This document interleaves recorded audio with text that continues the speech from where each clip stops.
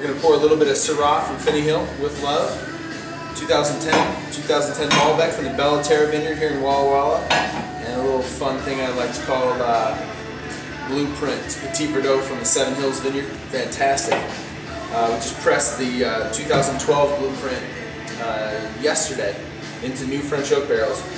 And I think maybe for uh, wine clubbers, so they can get a little preview of what they might be tasting uh, in the next few weeks. We're going to pour a little Run with the Hunted. This is the Syrah Malbec blend from 2010. What does uh, the name Run with the Hunted make you think?